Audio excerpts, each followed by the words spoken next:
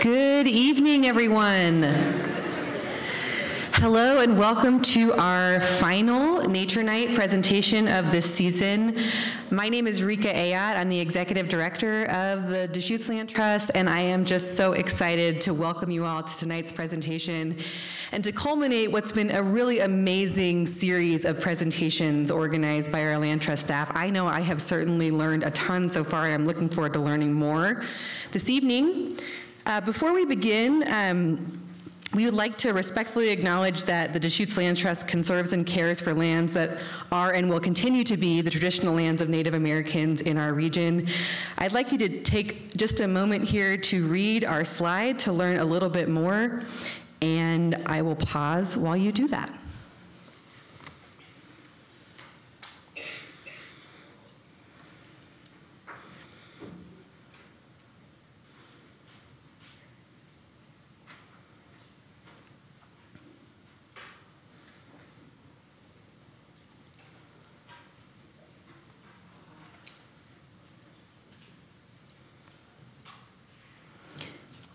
Thank you for taking the time to read our acknowledgement. And I would also like to acknowledge that the Deschutes Land Trust considers our partners at Confederated Tribes of Warm Springs and Klamath Tribes as two of our most important, important partners in the conservation work that we do. We also believe that there is more work to be done, and we are committed to increasing both Indigenous access, stewardship, and ownership of land through our conservation work at Deschutes Land Trust.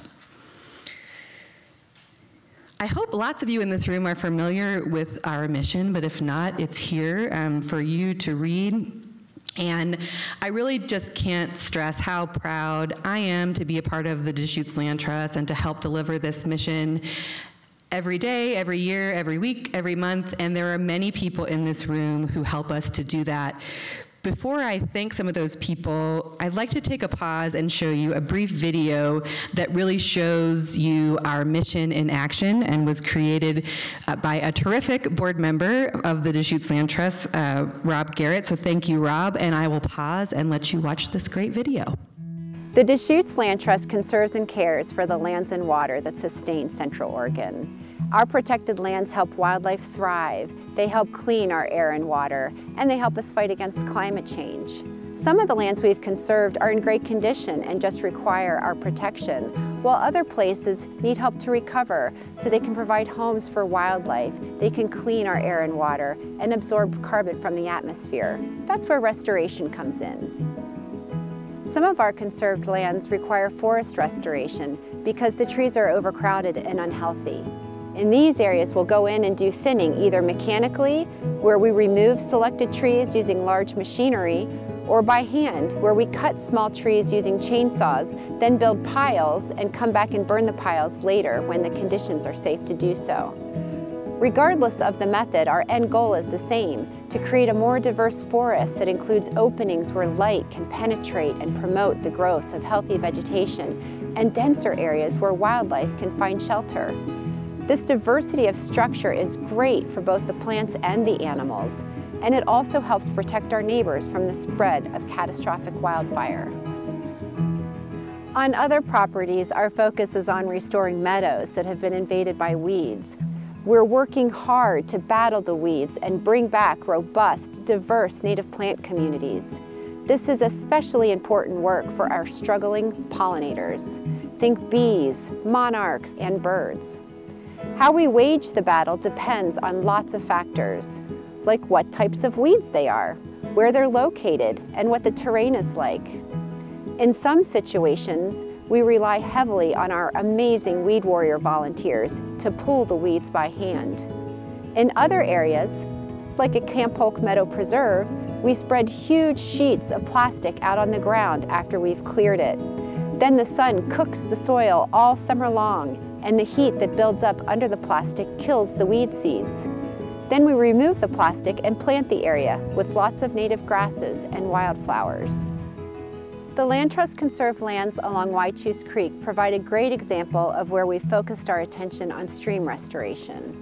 About half of Whychus Creek's 40 miles were straightened in the mid-1900s and since then, the creek has eroded so far down in many areas that it can no longer connect with its surrounding meadows.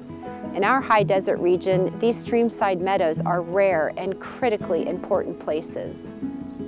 Sometimes we use heavy equipment to adjust elevations, construct pools, channel networks, and other important habitat features. Other times we take a lighter approach and follow the beaver's lead by hand building many dam-like structures that help slow water flow and create side channels. Either way, we're able to provide the space needed for nature to reclaim her natural processes, for water to spread out and soak in, for fish and wildlife to thrive, and for our local communities to engage and participate in this important work. Healthier natural systems mean healthier communities for all of us. We rely on our forests, our meadows, and our streams for the air we breathe, for the water we drink, and for inspiration and rejuvenation.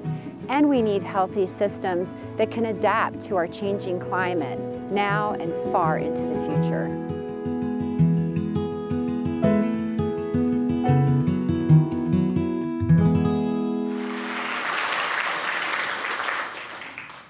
Thanks, everyone. And I think it's worth mentioning, particularly in the context of tonight's presentation, that really none of our restoration work would be possible without critical support from our partners at Confederated Tribes of Warm Springs and Klamath Tribes, whether that support comes through funding, comes through technical expertise, or comes through community support. We really do this work together, and we are um, extremely honored to have a privilege to work alongside our tribal partners in this restoration work.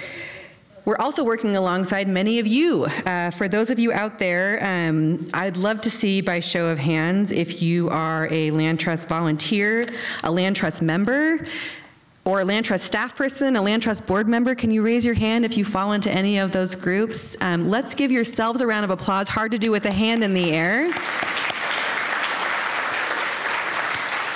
But the truth is, is that none of this work would be possible without this critical support that you provide to the Land Trust. And for those of you who didn't raise their hand, or if you're sitting next to somebody who didn't raise their hand, feel free to convince them to join us. Uh, lots of ways to get involved with the Land Trust. The best place to learn more about the work that we're doing or how to participate is to visit our website at DeschutesLandTrust.org. There you can learn how to volunteer, donate, also uh, join our walks or hikes, um, and many other ways to support the work that we do. Now, before we get into our presentation tonight, a quick reminder to you in the audience to please silence all cell phones. If you already did that, thank you. And also a reminder to everyone in the audience that we will have a short Q&A at the end of today's presentation. Uh, we use a service called menti.com to facilitate our Q&A section. You can see here, you can either go to menti.com and enter the code on the screen, 22376738. Um, you can also access the website by scanning the QR code. Don't worry, we will also put this up when it is time for the Q&A segment, so you'll have time to access it then. Live stream viewers, you can also ask questions through Menti. Another reminder to the audience, we will send you an email with a link to a video recording of tonight's presentation and other resources that we will introduce in tonight's presentation after the presentation. That usually takes a couple of days, um, but once you receive that, we really do appreciate it uh, if you can share that out with your community if you enjoyed tonight's presentation. And now it is my great honor to introduce our speaker for the night. Gabriann Hall is an enrolled member of the Klamath Tribes. She was born and raised in Fort Klamath Valley and attended school in Chiloquin, Oregon. She then went on to attend Oregon State University, receiving a Bachelor of Science in Ethnic Studies and a Master of Arts in Interdisciplinary Studies. Gabriann later returned to school and received a Master's of Arts in Teaching. She currently teaches ethnic studies, native studies, and diversity in allied healthcare at Central Oregon Community College. Please let's give a warm welcome to Gabriann Hall.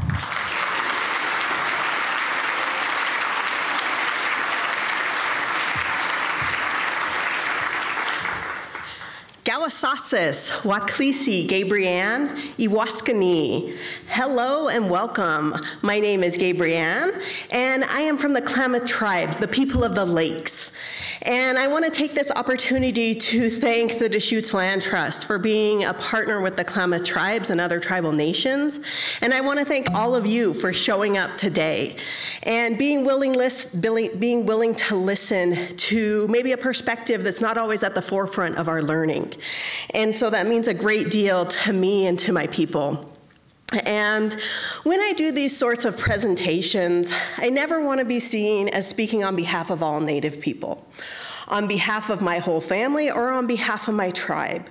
Um, tribes are very unique. There are over 573 different federally recognized tribes.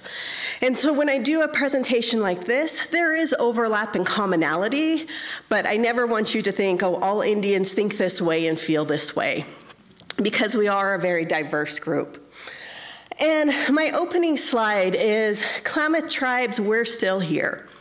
A lot of times people assume that we're kind of museum pieces, but we're not. We are modern members of your community and of this society.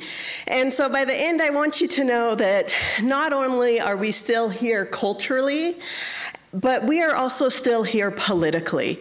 And this image is a tribal elder meeting with the Secretary of the Interior, Deb Haaland. She was here last spring and she stopped by our reservation and met with our community to listen to our needs and our perspective. So we hold cultural place and we hold political place. And a lot of times those come together, just like what I'm going to talk about today. As Native people, we always start with who we come from. And I have the great honor of being the daughter of Lawrence and Ann Hall and the granddaughter of Marilyn Mitchell Hall. That's who I come from. And then where I come from is the Fort Klamath Valley. This picture is taken outside my parents' living room window. And I tell them, you live on sacred ground. The Treaty of 1864 was signed right here in Council Grove. And the treaty is going to be a reoccurring theme that I'm going to talk about today. Because although this treaty was signed in 1864, as time passes by, it becomes more and more relevant. And I think you'll agree by the time I'm done. But in the Treaty of 1864, the Klamath tribes ceded 20 million acres that big red line. So our territory, our roaming area, went all the way to south of Bend, kind of Deschutes River Woods area, and all the way south to nor- what is present day Northern California. So, in that treaty, we ceded 20 million acres and retained a reservation of 2 million acres.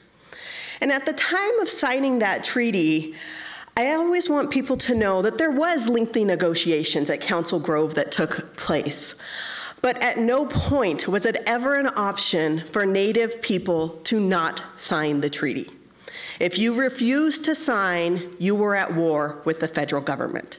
If you refused to stay on your reservation and not abide by the treaty, you were at war with the federal government. So, in exchange for that 20 million acres, the federal government gave us promises in the way of treaty rights.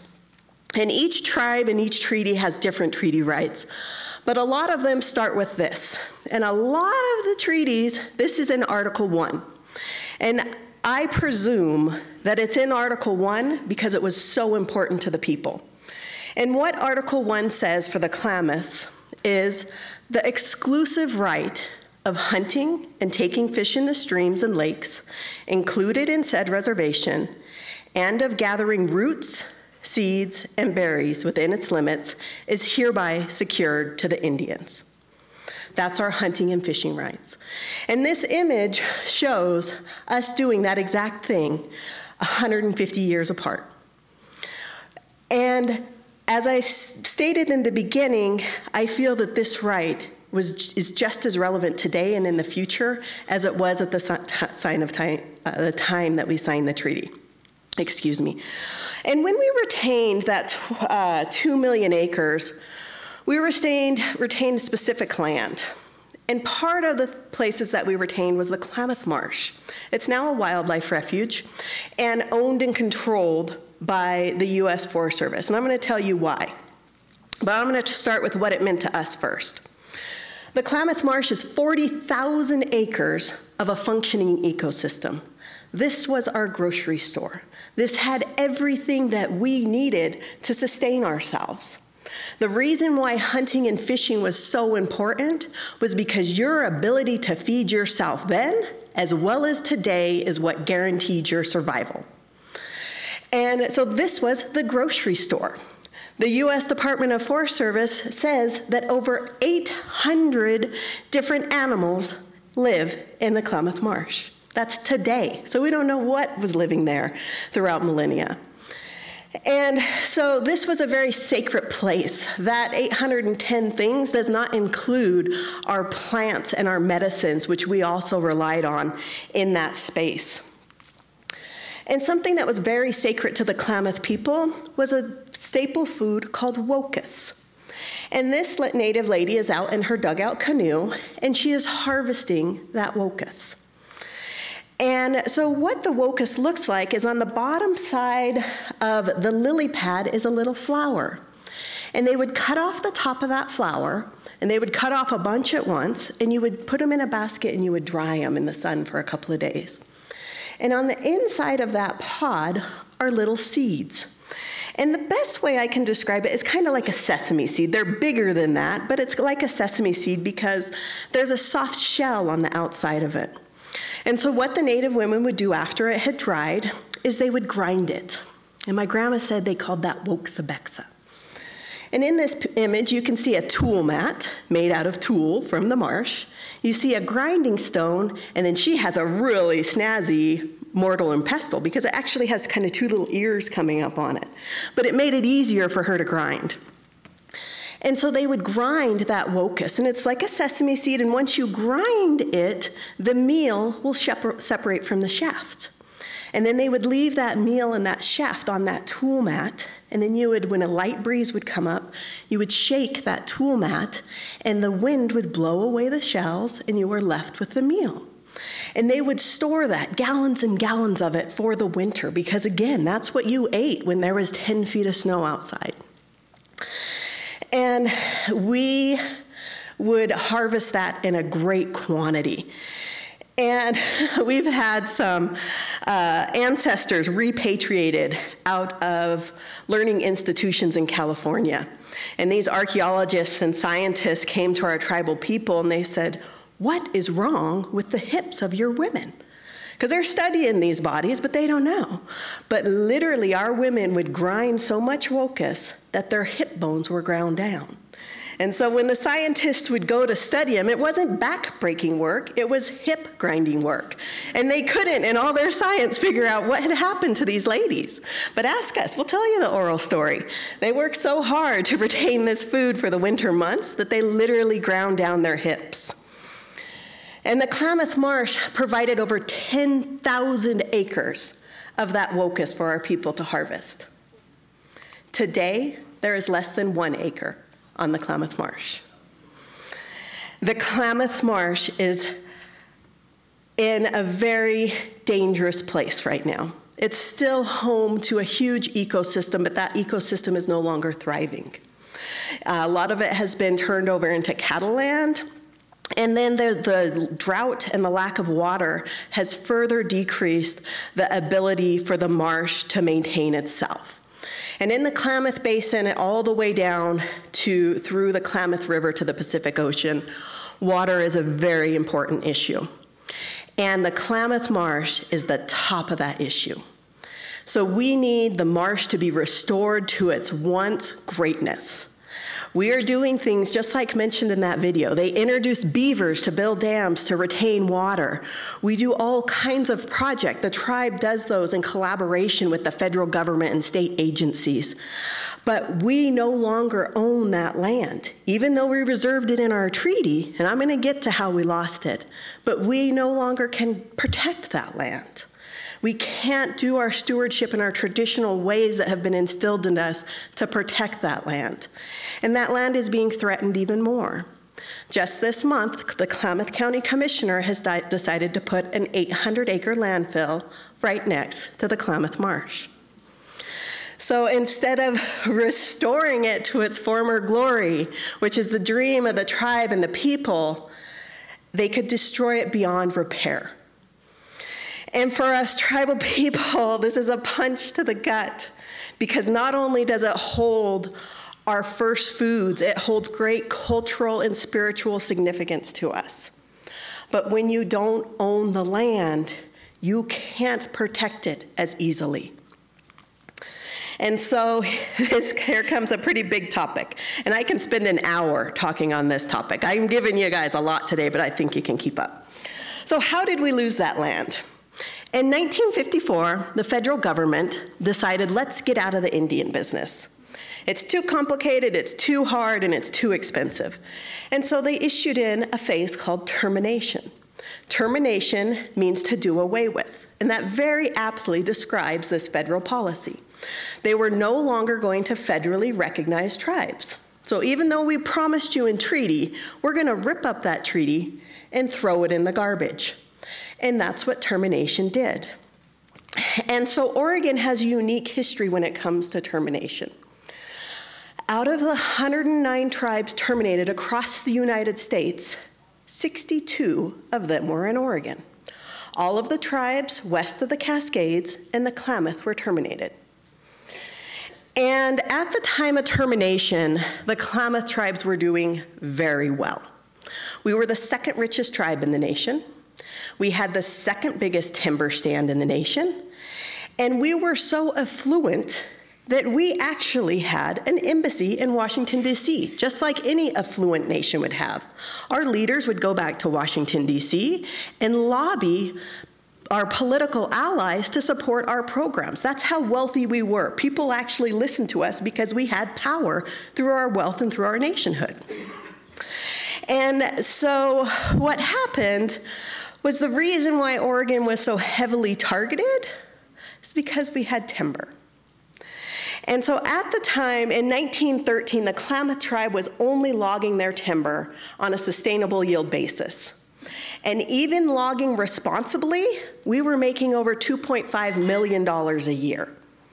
We were responsible for 40% of the economic wealth in that whole entire Klamath Basin from the timber on our reservation. Chiloquin was a happening town. We were so impressive, the railroad stopped to take on logs. We had three mills going full time, and this was using responsible stewardship on a sustainable yield basis.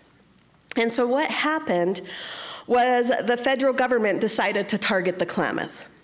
And I believe it was to get at the timber. Because what they said was no, it's too expensive to maintain these tribes, so we're going to terminate them. The reality is right here in this quote at the bottom. From their own Indian agent who worked at the Klamath Reservation, what he said was These Indians do not cost the United States government a cent.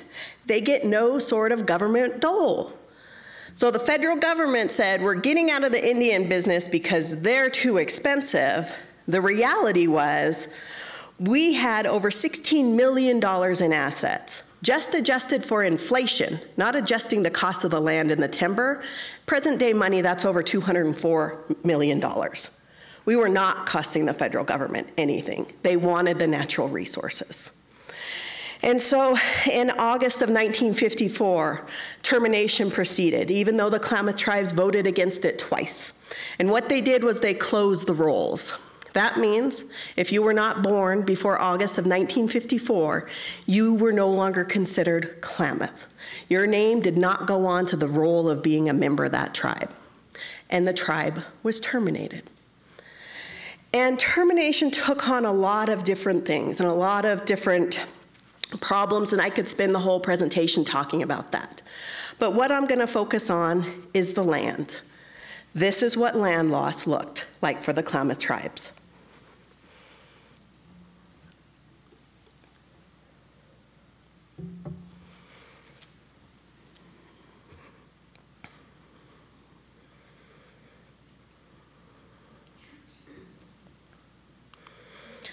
That's a quick simulation to show what happened to our land basically since contact. And when the land was taken and we lost that land, we didn't just lose the land, we lost our way. And I think this quote sums it up The land is sacred. The land is our mother, the river our blood. Take our land away, and we die. That is, the Indian in us dies.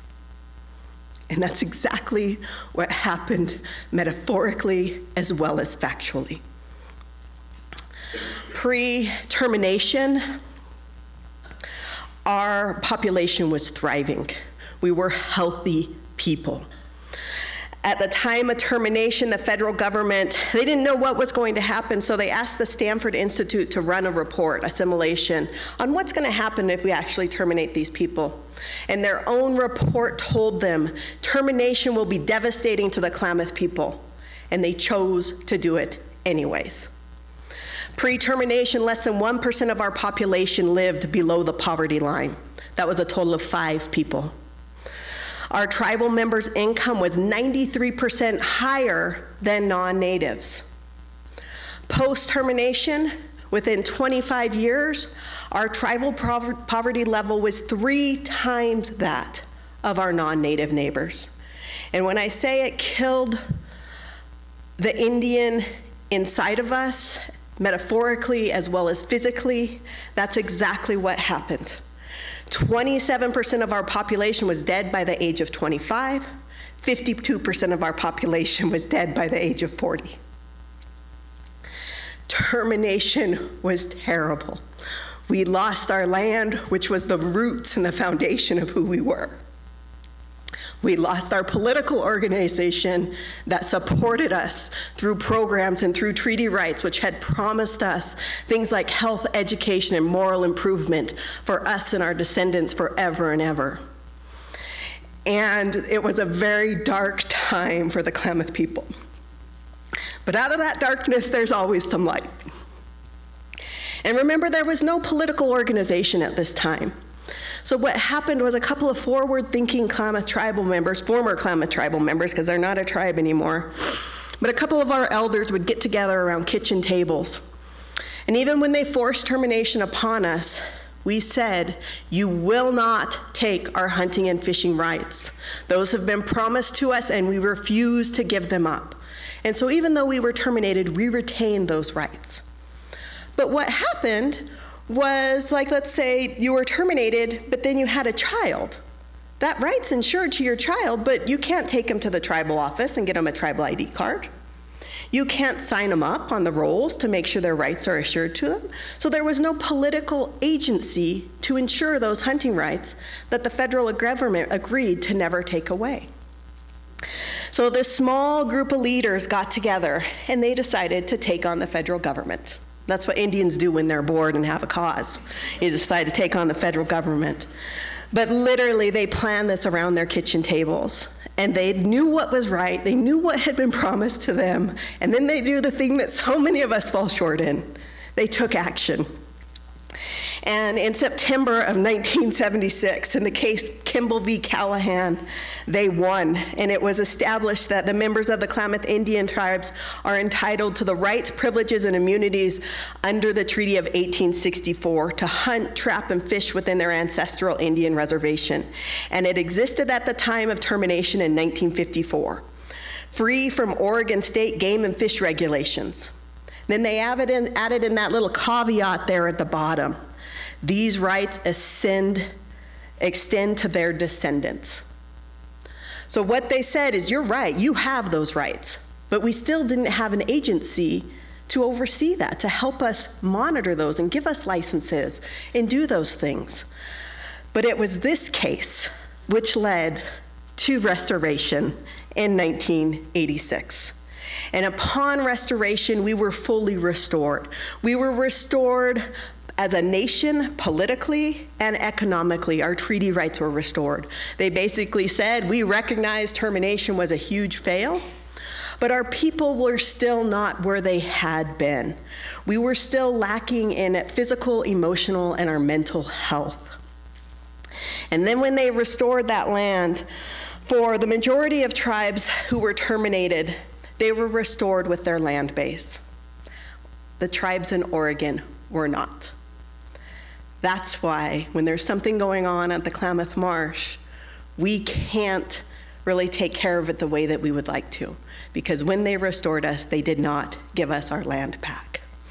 So, today that is one of our major issues that we do, that we try to get the land back because we want to restore it to what it was. So I really wanted to add this into that into that simulation because I never like to just show us as victims because we are so much more than what has been done to us. And so at the end of that land simulation, I wanted you to see it go down, down, down, and then I wanted you to see it come back up. Because I can tell you every single one of these 5,000 acres means so much to us as Klamath people but it didn't register on the simulation because it's so small compared to what we had lost. But it registers in the heart of the people because it is the footsteps in the right direction to where we want to go. And now we have been restored, and we have a gratitude and a thankfulness that the tribes that, that were not terminated don't maybe know to appreciate to its fullest.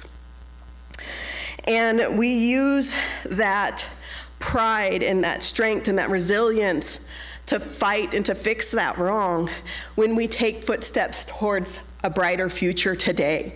And we use our treaty rights to do that. And I can proudly say we have learned from the past. The Klamath tribes fought against the Swan Lake Hydro Project for 10 years. Um, we feel that it is going to damage the land to a point that it could, cannot be restored. And these are sacred lands to our people. And we lost that fight. After 10 years, that project is continuing to go forward. And I'm going to tell you, we fought it with everything we had. And what happened was a new corporation took over this project, and it does not look good to have the local natives saying that your project is not environmentally sound. And so they came to our tribal leadership and they said, The project's going forward either way.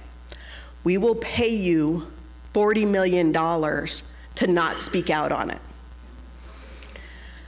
Let me explain to you the context, because $40 million is a lot to everybody.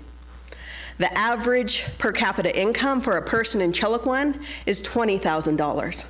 The average family mean to a family in Chiloquin income is $37,000. That is 91.1% less than the rest of the state. $40 million means more to us than it does to a lot of people. We unanimously voted that down. Our land is not for sale. Our speaking out against it is not for sale. We took it a step further and we passed a resolution don't come back and offer us money again.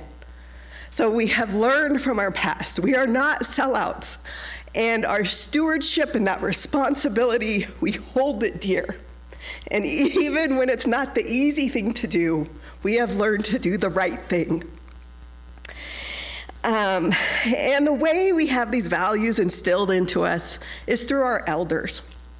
And I had the honor and privilege to interview over 20 elders in the summer of 2021. And it was July of 2021, and it was the most fabulous thing I've ever done to just sit and listen and learn from them. And I went into this project, we were writing curriculum for the state of Oregon, and I knew we were going to make three videos with our elder interviews. One was going to be on boarding schools, and I knew that was going to be tough for my elders to get through. The second one was going to be on termination and restoration. And I heard their hurt and their anger. And we had enough funding left to do a third video. So we were going to be good little indigenous people, and we were actually going to listen to our elders for once, and we were going to let them pick that third topic. We should have done that for all three, but you know, we're we're working on listening. After listening to them for three days, that was the main thing they said: is you guys don't listen. Um, but we decided after, the, after we listened to these interviews for three days, we'll see what's most important to them. And again, this was in July of 2021. And you may not remember, but a fire broke out. And that fire was the bootleg fire. And it consumed Klamath and Lake County. It ended up burning over 400,000 acres. 200,000 were former reservation lands. And we would ask them about the boarding schools, and you could see the hurt. We would ask them about termination, and you could see the anger. And when we asked them about the land, it's when they broke. It's when they cried and their voices cracked. And so I want to share with you how my elders feel about this land, because it speaks to how we feel about it today.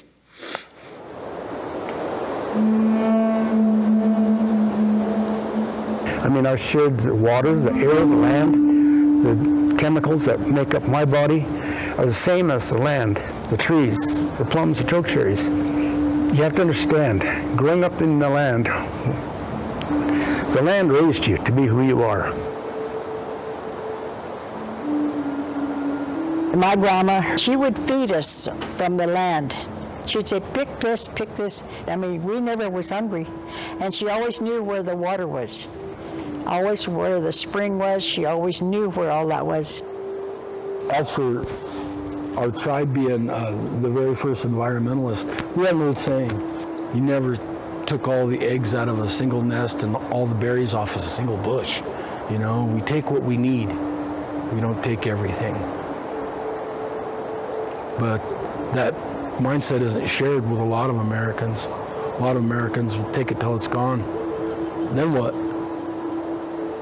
Hearing the stories growing up from all of the elders that surrounded me, the uh, being able to walk across these rivers that are full of salmon, the lamprey, the marshes that don't even exist anymore, the lakes that have been drained for for agriculture, and now we struggle to to collect and harvest our, our wokus, our, our chwam and koptu we can't even eat anymore.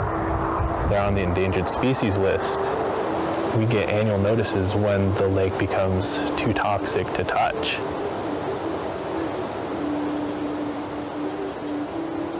They need uh, respect for the animals that we eat. And a lot of them, like the fish, are gone.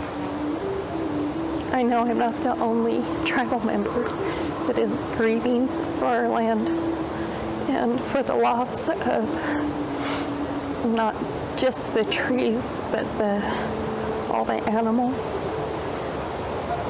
It's, it's devastating.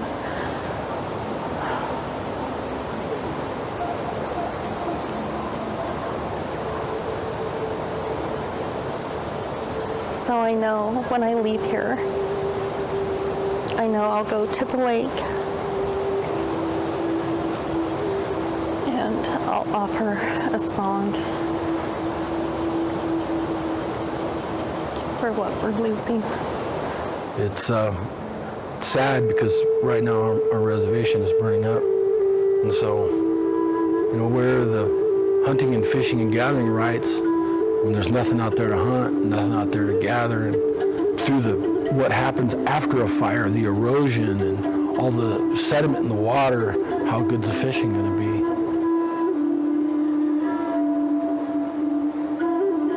Klamath Basin can be a home base. It is a, and if we rebuild it the way it should be, fresh water, fresh trees, forest management. If we could see Oregon State Wildlife to realize that the tribal subsistence hunting rights cannot be sustained if they keep overhunting our old reservation. We need to have these radical beliefs that there are better days forward for us. We have this space where reclamation and restoration of our lands and of the ways, the life ways that have tied us to these lands can take us forward, can inform the future of policy, can restore balance to these lands and and hopefully undo the legacies of violence that we have exposed these lands to for the last 150 years. We've been here for tens of thousands of years.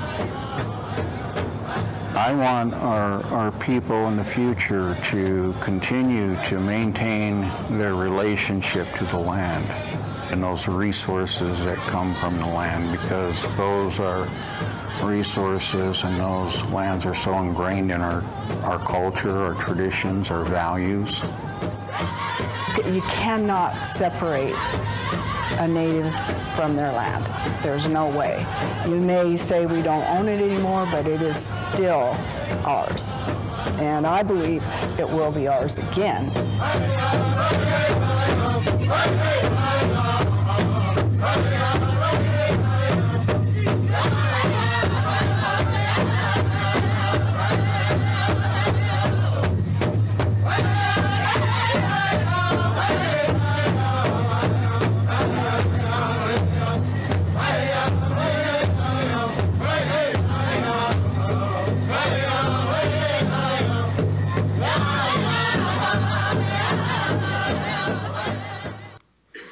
So that's the perspective of the people on the land. And we believe that that's a reciprocal relationship. When we heal the land, the land will heal us.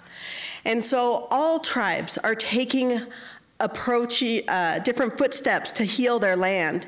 And our tribe is starting with a firefighting program as well as a land stewardship program. Warm Springs has had these, problem, these um, programs in the past, but we're doing it in partnership because, again, we don't really have a land base to go out there and steward. So we have to do it through partnership. And this is an image that my tribe calls the Green Island picture. And that green island there in the middle was managed by the Klamath tribes. And they used thinning and prescribed burning to reduce fire fuels. The scorched earth up at the very top, that is no treatment whatsoever. And the bottom is thinning only. And so I do believe that Mother Nature has a way of taking care of itself. And if it was left to itself, it could probably do better than we could even fathom, because it did that for a long time. But when you add in the human element, that requires greater stewardship. And I'm going to use the example of just fires. 80% of those are human caused. So to think that we should not be using our traditional knowledge with modern technology to steward those lands is naive because we cannot control that unknown element of the human population. And so again, that's exactly what the tribes are doing. We are literally in the ditches. This is my cousin Brad right here in the middle, restoring the river systems after a fire. And when our fire team or our restoration team goes out to do work, it's more than a job to them because it's that relationship with the land, it's the reciprocity. They're going to restore this river today and give to the land, but when it comes to hunting season, they're going to ask the land to give back to us. And so we keep that circle going through an acknowledgement that it's our job to take care of it, and it will in turn then take care of us. And one of those ways that we can all do that is by taking on the meaning of an honorable harvest. This is my seven year old daughter, and we went out huckleberry picking last year. We've gone for a couple years, and every year it's an adventure. But this last year was the best one yet. And it was the best one yet because I got this guy to go. That's my dad. He has not been huckleberry picking in 60 years, since he was about 10 years old. And they, my dad and my aunts and uncles have always told us these huckleberry picking stories and how terrible it was. So when I'm trying to get him to go huckleberry picking a couple years ago, he's like, No, I'm not going. There's too many bees. And I was like, Lawrence, there's bees are practically extinct. There's no bees.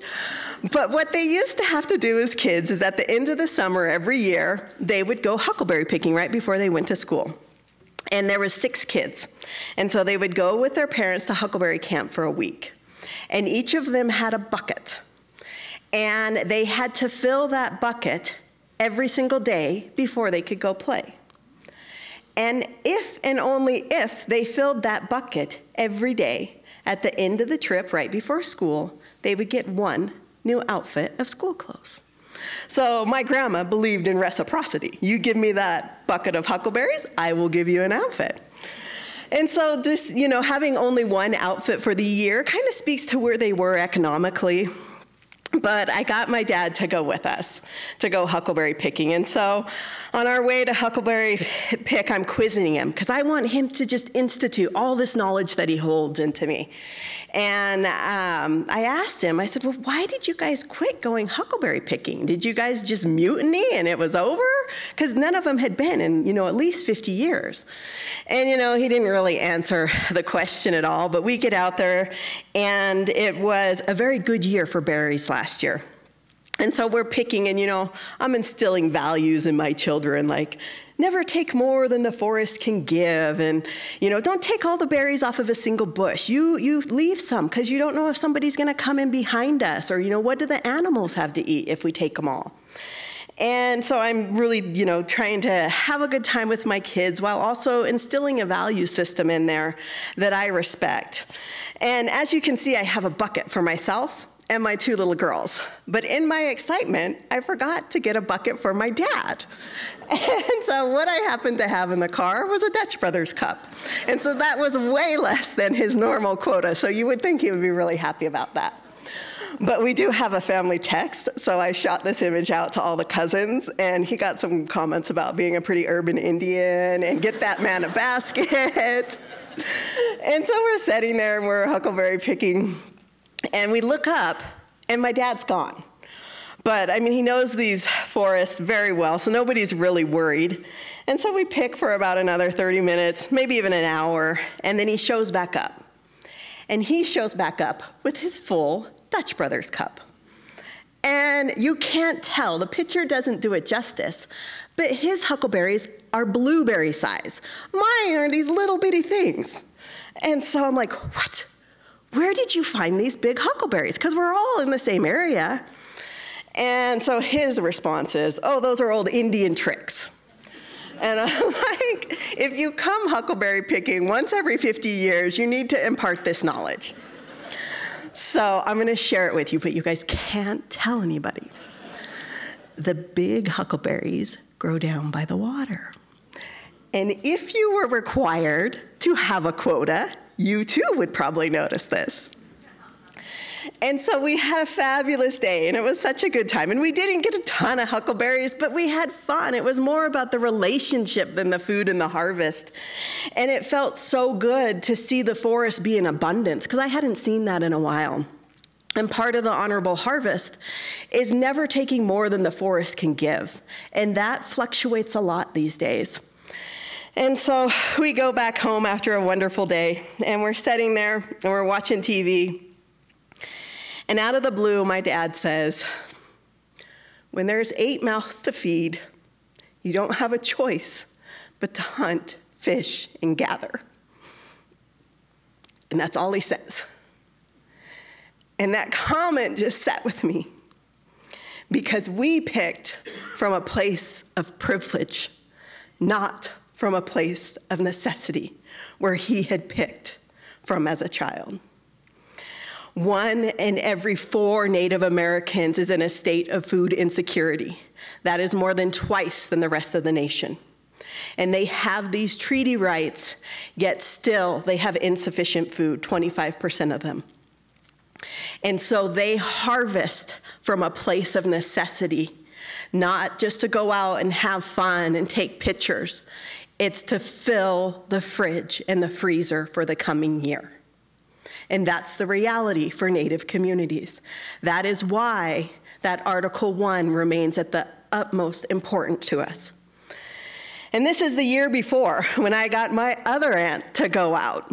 And as you can see, we did not get a lot of huckleberries, but this was what we got for the four families that were there. And we have three generations out there huckleberry picking. And again, we had a wonderful day. But it raises the issue when the forest cannot provide, what do we as good stewards do? Are we willing to not go picking that year because the forest can't provide that year? Are we willing to cut back? And sacrifice is really easy as long as we hold it out here. But when we bring it in and decide what exactly we're going to do and what we are going to give up, it gets a lot more difficult. Would we support the forest being closed one week to commercial pickers? Commercial pickers do not follow the honorable harvest. Every berry has a price on it, and the bush is picked clean. Would we support that? What are we willing to give up to ensure this right to hunt, fish, and gather for the people in our community that need it the most? And I don't know for certain what that sacrifice is going to look like, but I think we're all going to have to answer that question at some point in some time. And that brings us to the larger issue of stewardship without a land base. Because where the Klamaths go huckleberry picking is off reservation. We don't have a reservation. So when they go huckleberry picking, our elders have gotten upset because there is no longer even a place to park.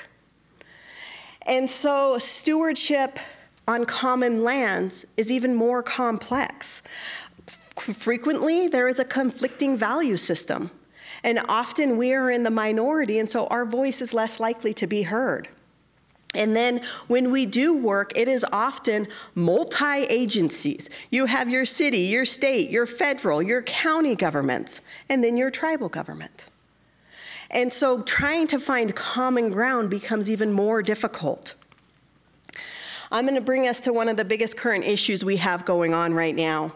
And again, this issue is rooted in the past, but it's alive in the present. And in the early 1900s, over seven dams were constructed on the Klamath River. And I want to draw your attention to the quote in the middle. And this came out of the Klamath newspaper in 1921. And they asked this question Along with it is the problem of whether the need for electricity ranks higher in the law than a food supply for the Indians. They asked the right question in 1921. It's a hundred years later, and I think the answer is the same a lot of the times. And currently, the Klamath River is undergoing the largest river restoration project this world has ever seen. It's larger than the Florida Everglades, and it is happening right now. And this project is going to remove four dams off of the Klamath River. Remember what I said about that interdepartment department working, collaborating? This is going to affect four different tribal nations, two states, seven counties, six national wildlife refuges, refuges um, three endangered uh, fish, some threatened um, animals, and it is a huge undertaking. And that is currently what is happening around the Klamath River. This is going to open up over 420 miles of historical habitat. It's going to improve water quality. There will be a loss of hydropower. Let me give you the data on that. With these four dams coming out, California will lose 1.1% of its hydroelectric power. And don't be misled and think that this happened out of the goodness of people's hearts. It took a lot of hard work. But if you ever want to know why something happens, it's always about the money. In 2020, this is going to cost about $450 million to do this project. If they were to update the four dams, it was going to cost $515 million with an annual rate of $77 million to keep them running every year. It's always about the money. But I want to bring you down to the chairman of the Karuk tribe and what he says regarding this land, uh, this dam removal and restoration project. He says, My dream is not only to bring the salmon back, but to bring back a way of life. And that is the hope for indigenous communities along the Klamath River and within the Klamath Basin. And as the Klamath people, we are facing something, a question that we're not sure how to best answer.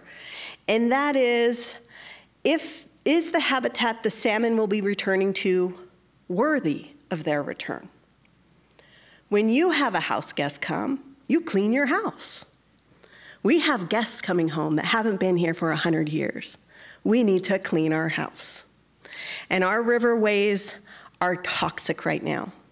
One of our food staples, the Chawam and Koptu, is there's only 40,000 of them left in the world because they are dying in a toxic water system. So our house is not clean right now. to welcome the salmon back.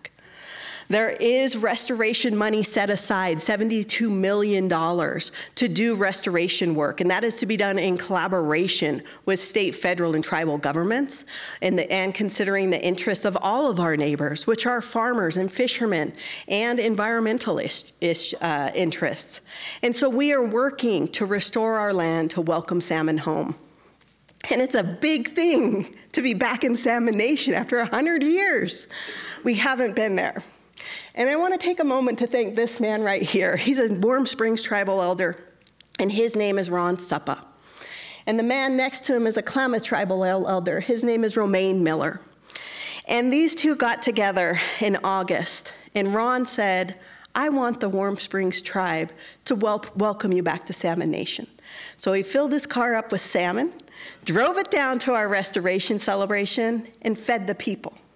He's bringing the taste of salmon back to us. Again, Ron Suppah was instrumental in donating salmon to Chiloquin High School, who on Indigenous Peoples Day dug a hole in the parking lot of the school and cooked salmon a traditional way. My cousin Brad happened to be there, and he's done restoration up along the Columbia River with the salmon people. So he was able to share that knowledge of how you stake that salmon and how you cook that because that knowledge has been lost to our people because we haven't been salmon people for generations.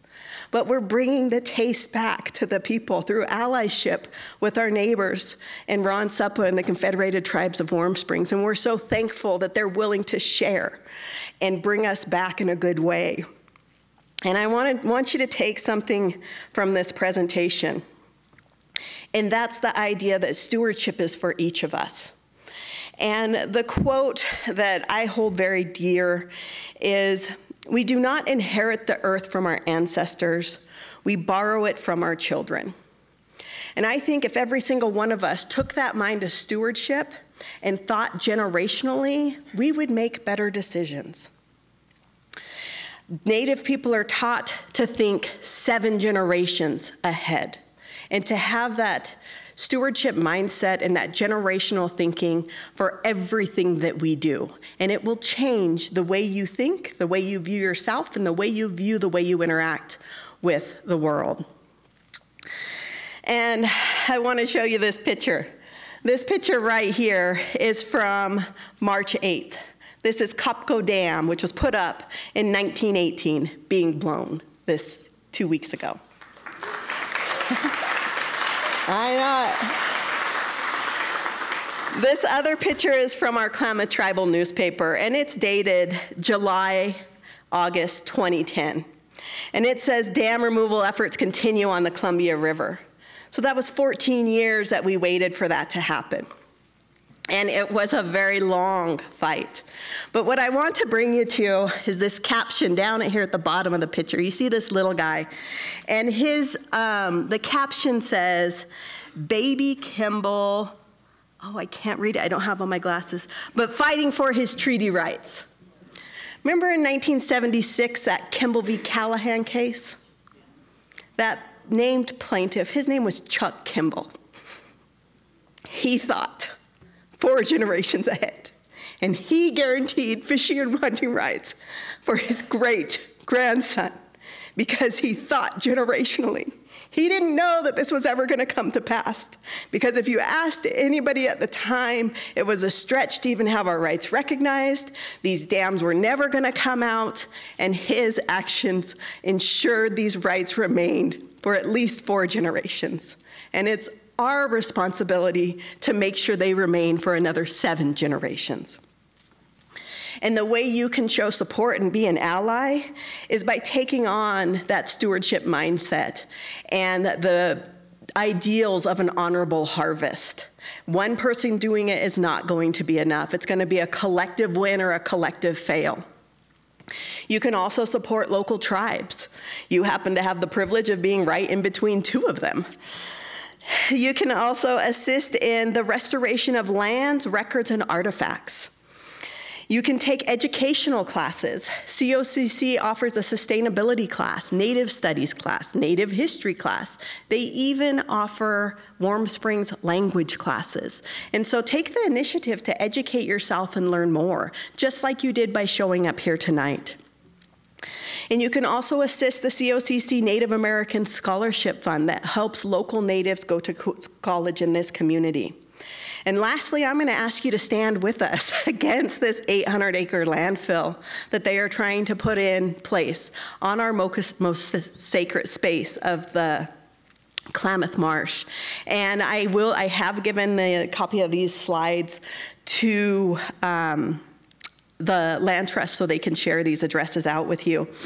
But they planned on shutting this off for comment Tuesday. And so I emailed everybody that I considered a true ally. A lot of people tell me they're allies, but a true ally is somebody that amplifies your voice and stands next to you instead of in front of you. And so I emailed everybody I could think of. And that evening, I don't know how many emails they got.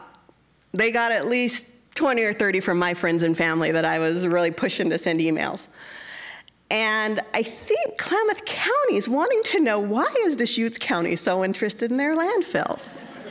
so if you want to drop them an email, I would appreciate that.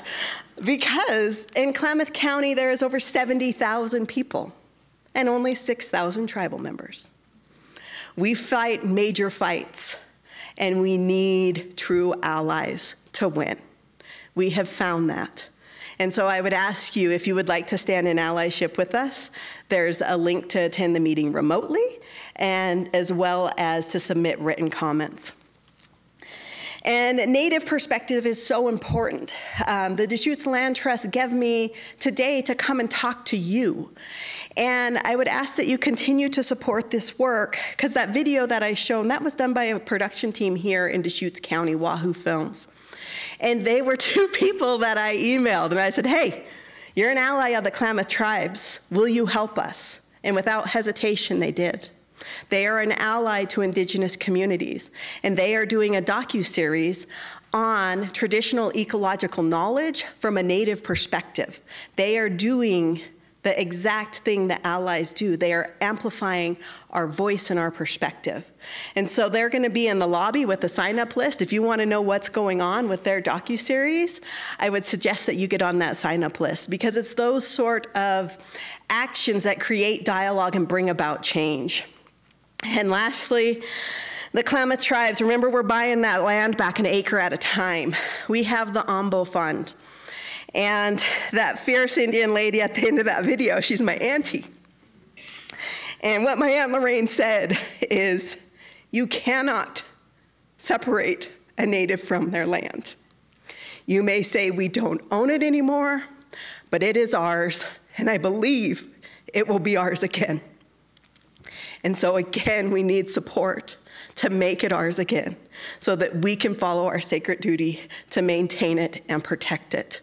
And you can do that through this AMBO fund. And I'm going to close with the Klamath tribes. We are still here, culturally as well as politically. And if we can ever be of assistance to you, please do not hesitate to ask. My email is up here. I am happy to help in any way that I can. And I want to thank some people that helped me with this project. My cousin Brad Parrish, he holds the title of Water Rights Specialist. He is on the front lines. He is the tip of the spear when it comes to water issues within the Klamath Basin and protecting our water rights, he is there. And when I do a presentation like this, I call him up and I'm like, Brad, what about this? What about that? And the humbleness and the graciousness that he answers my questions with, I am continually thankful for.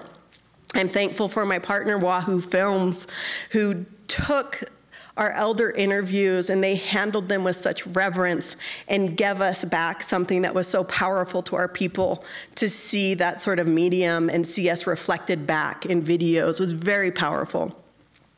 Paul Wilson Photography, he's a young native Klamath who um, took a lot of the images, the Deschutes Land Trust for giving me space here to speak with you. That doesn't happen a lot. And then Smokey Miller, Ron Suppah, Will Hess, Aletha Barlow, and Garen Riddle for bringing that salmon to those students. You are changing the way those students see themselves and welcome them back to that culture and a pride in culture. And lastly, my colleagues at COCC, Jeremiah Rector and Owen Murphy. I'm very thankful that they came here today and they have continued to support um, indigenous initiatives. So, Musap Ketcha, thank you so much.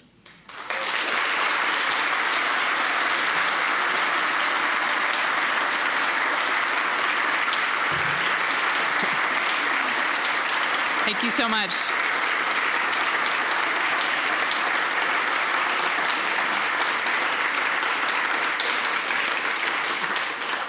That was wonderful. Thank you so much for sharing that with us. Um, we're just going to have a time for a few questions. So if you want to go ahead and um, either scan that QR code or go to menti.com and enter the code 22376738 um, and submit your questions that way, and then we'll, we'll uh, share them here for some answers. Um, it looks like we have one that came in a little bit about the relationship between the Klamath and Modoc peoples and the National Park Service at Lava Beds National Monument in California. Maybe a hot, hot one to start with? Um, there's an Ojibwe author, his name's David Treuer, and he wrote an excellent article on that's the way to extend stewardship to tribal nations is to start with the national parks. Um, we can get in for free with our tribal ID, but are you going to respect our ideas? Um, I went with my friends from Wahoo Films, and I submitted uh, an official application to Crater Lake National Park to pick huckleberries.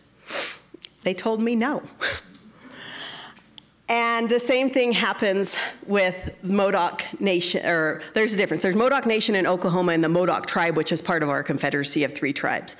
But the lava, lava caves and the lava national, uh, Lava Caves National Monument are a sacred place to those Modoc people. That's where they had a war against the U.S. Army. 68 men, women, and children held off over 1,400 U.S. cavalry.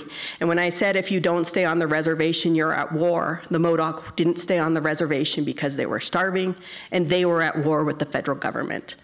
That is sacred ground to the Modoc people. And it should be returned. I believe that we could do co-management, um, where instead of just being invited to the table, our ideas are taken seriously and supported. And I think co-management with federal parks and national parks is a step in the right direction. Um, it may be overwhelming for us, like if we got back Crater Lake, which I know we would love to have back, but if we got it back tomorrow, it would take us a while to get up to speed. But if we did co-management and were respected and listened to with that or the national park down at the lava beds, I believe we have valuable input. And again, that's not just a space, that's sacred land to us, especially to the Modoc people for what they went through in the history of the lava beds. Um, but I don't think there's a plan to do so. But Native people are talking that it, it should be done. And, you know, with the current Secretary of the Interior, I think we're in a better position than we ever have been to maybe make that at least co stewardship a possibility.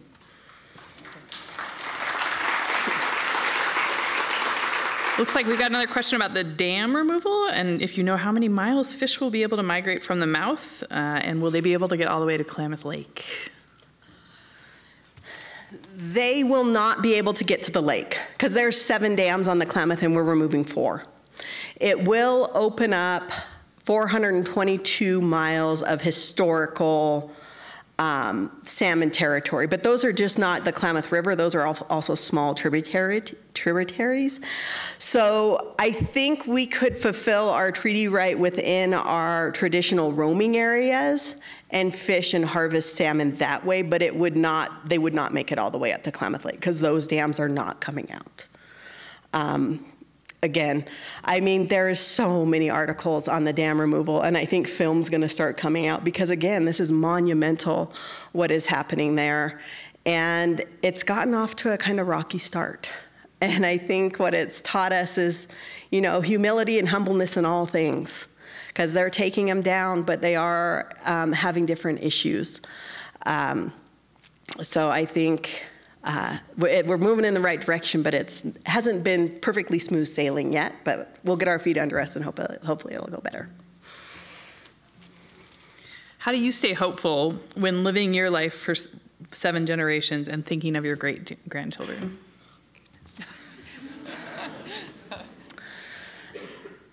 I think as long as I'm taking actions every day in the right direction, I think that's kind of how you have to make it. What's the next right step? And if you break it down that small, it's attainable. But I took a big step today. I might have changed some minds in here. And so the, today was a leap. And so that makes me hopeful. That five years ago, we wouldn't have been invited into this space. That makes me hopeful to take my kids out and have them off their iPads and picking huckleberries, that makes me hopeful. And you know, we went mushroom picking, and a year before we did amazing, and last year we didn't do good. And they're like, what? There's no mushrooms. And I had to teach them, you know, sometimes there's feast and sometimes there's famine. But it taught them appreciation for when there are huckleberries, when there are um, mushrooms. They've learned an appreciation for the foods around us and what nature can give us. And so I think that direct connection to my children and the direct connection to my family and getting those, my aunt and my dad, out to just share that time with us. But again, I think for Native people in general, we're often defined by our hardships. And instead, I want Native people to focus on their strength and resilience. We are literally the descendants of those who survived. I told you that in a 25 year span, 52% of my people died. I am the descendant of the remaining 48. There is strength in my blood, and I latch onto that because that gives you perseverance as well as perspective. And so I think it's what you choose to focus on.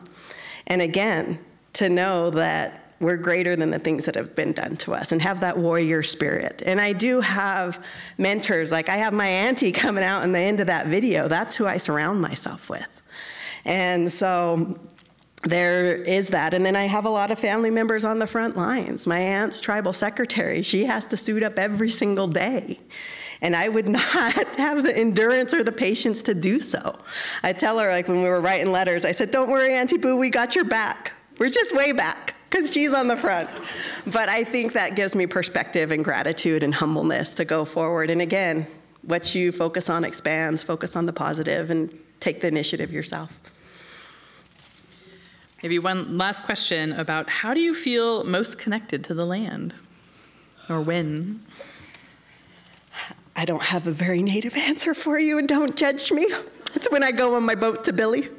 Uh, no, my most happy place is to be out camping and to be on the water. Um, I love going out and doing, you know, my gathering and those things. Even if it's, you know, I love to go to Kimberly and pick peaches. That's not my traditional food or my traditional land, but it's any time I am out in nature. And I kind of judge it by my children. If they don't want to be on their device, if I don't want to be on my phone and I'm in a happy place, that's almost 95% of the time in nature. Um, but for me, being out in the sun and the fresh air is just, it feels not just your, your soul, but it fills you spiritually, I feel. And you know, you could go walk on the treadmill or you could go walk at Pine Nursery. You will have the same aerobic exercise both places, but I believe you will be more mentally healthy if you go to Pine Nursery. And so we have to use what we have. And so I think anytime I'm out outside, but I, I particularly have a fondness for water. And don't judge me about loving Billy, it's my favorite place. our, our water's toxic, so I can't go there. So that's my struggle. I think a lot of us probably agree with you. We love that place too. But huge thanks for being here tonight and speaking. Let's give Brianna a big round of applause. Thanks, everyone.